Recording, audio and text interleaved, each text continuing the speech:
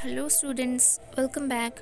As you all know, by the starting of new year 2022, there are so many changes in IELTS exam as well. I have made a separate video for all of that. You can check that video right now.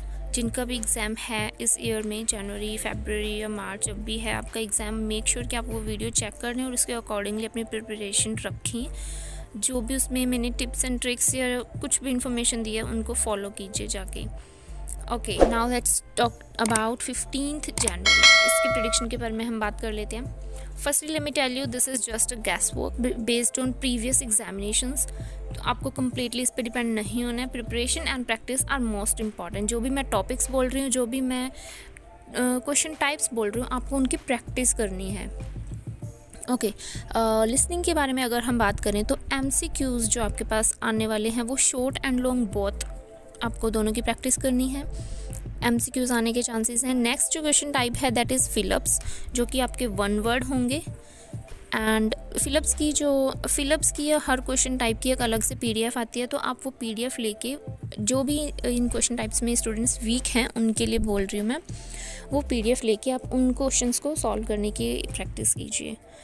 उसके बाद जो next question type है that is put the correct letter so ये three question types important हैं listening के लिए, और listening का ओवरऑल लेवल जो आपका होने वाला है that will be moderate plus आपकी लिसनिंग फास्ट आने के चांसेस हैं।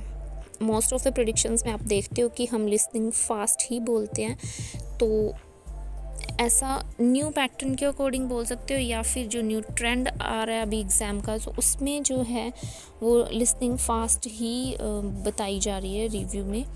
सो दैट्स वाई और लिसनिंग की प्रैक्टिस करने के लिए मैंने एक ट्रिक बताई थी पीछे एक एग्ज़ाम में। मेक श्योर sure आप वो वीडियो चेक करें और आप उस ट्रिक के अकॉर्डिंग अपनी लिसनिंग को प्रैक्टिस कर कीजिए। नेक्स्ट अगर हम बात करें रीडिंग की रीडिंग का पार्ट वन आपके पास मॉडरेट आने वाला है। पार्ट टू मॉडरेट प्लस रहेगा और पार्ट थ्री ईजी रहेगा। ओवरऑल रीडिंग का जो लेवल है वो मॉडरेट रहने वाला है। अब बात करते हैं क्वेश्चन टाइप्स की। तो सबसे फ़र्स्ट इज़ येस नो और नॉट गिवन और ट्रू फॉल्स और नॉट गिवन जो कि आई थिंक मोस्ट फेवरेट है एग्जामिनर्स का। ये हर एक क्वेश्चन में ऑलमोस्ट नाइन्टी फाइव परसेंट हर एग्ज़ाम में ये आता है क्वेश्चन टाइप उसके बाद है match the statement the next one is list of headings students let me tell you list of headings बहुत इंपॉर्टेंट है। आप अच्छे से प्रैक्टिस कर लीजिए लिस्ट ऑफ़ हेडिंग्स की। ये मेरे हिसाब से मोस्ट इंपॉर्टेंट टॉपिक रहेगा फिफ्टींथ जनवरी के एग्ज़ाम में। उसके बाद आपका क्वेश्चन टाइप है that is fill in the blanks fill in the blanks आपके पास किस टाइप में आ सकते हैं? एक तो सिंपल भी आ सकते हैं जो हमारे पास फिलअप्स होते हैं एग्ज़ाम्स में, या क्वेश्चन पेपर में। दूसरा जो फिल इन द ब्लैंक्स मैं बोल, बात कर रही हूँ that is in the form of summary जैसे आपके पास उसके एंड में आता है ना जो पैराग्राफ होता है, उसके एंड में एक समरी गिवन होती है। तो उस टाइप में भी आपके पास फिलअप्स आ सकते हैं। इसमें दोनों केस हो सकते हैं, आपके पास ऑप्शंस गिवन भी हो सकते हैं और नहीं भी हो सकते। तो आप अच्छे से प्रैक्टिस कर लीजिएगा इसकी। ओके गाइज़ सो ओवरऑल जो रीडिंग का लेवल रहेगा दैट विल बी मॉडरेट बात करते हैं राइटिंग टास्क की राइटिंग टास्क वन की। इसमें आपके पास क्वेश्चन टाइप्स आने वाले हैं bar chart pie chart and picture chart और इसका लेवल रहेगा इजी टू मॉडरेट कोई घबराने की बात नहीं है it will be easy I think क्योंकि ये वैसे भी टॉपिक्स बहुत इजी आएँगे इसमें।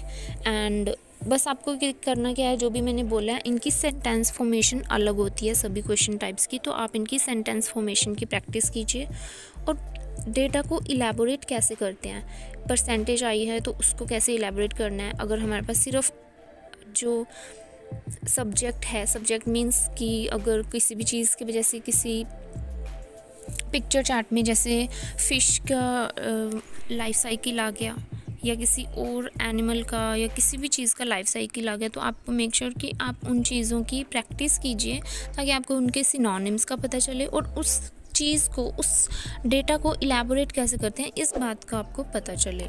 क्योंकि आई थिंक टास्क वन सिर्फ़ और सिर्फ़ डेटा इलेबोरेशन पे ही डिपेंड करता है। और उसके लिए आपको चाहिए डेटा इलेबोरेशन की practice plus synonyms and make sure कि आपकी हैंड राइटिंग अच्छी हो। और उसके साथ साथ स्पेलिंग मिस्टेक्स भी नहीं करने आपको। ओके ये बहुत बेसिक सी चीज़ें हैं आप आई थिंक सबको पता ही होंगी। ये बात करते हैं टास्क में आपके पास जो क्वेश्चन टाइप्स आएँगे that will be problem and solution and agree and disagree इनमें से कोई भी क्वेश्चन टाइप आपके पास आ सकते हैं। टॉपिक्स की अगर हम बात करें तो ये इंपॉर्टेंट टॉपिक्स हैं। आप इनको नोट डाउन भी कर सकते हैं। ताकि आपको इनकी प्रिपरेशन में आसानी हो, क्योंकि इन्हीं के रिगार्डिंग आपको इन्हीं से related synonyms sentence formation and everything आपको प्रैक्टिस करना है, इकट्ठा करना है अपना मटेरियल तो नंबर वन टॉपिक है government and society then it is science and technology next is history and culture after that, it is media and advertising. And the last one is travel and tourism. Make sure, students, you practice well all of these topics. All the very best from my side. और जो मैंने आपको starting में बोला था, वो video ज़रूर check कर लेना। जो 2022 में आयल्स एग्ज़ाम में जो भी चेंजेस आए हैं, जो भी न्यू इन्फॉर्मेशन है अपडेटेड वो आप ज़रूर चेक कर लेना जाके। एंड की प्रैक्टिसिंग जो भी मैंने टिप्स आपको दी हैं मेक श्योर आप उनको फॉलो कीजिए। स्टूडेंट्स पूछते पूछते रहते हैं कि मैम क्या करें क्या करें। और ऑल दो मैं अपनी हर वीडियो में कोई ना कोई टिप आपको देती हूँ तो आप उनको फॉलो ज़रूर कीजिएगा। ऐसे सिर्फ़ मेरे बताने से कुछ नहीं होगा जब तक आप उनको फॉलो नहीं करेंगे। Okay guys so thanks for watching and bye all the very best for your exam जिनका भी एग्ज़ाम है फिफ्टीन ऑफ़ जनवरी को।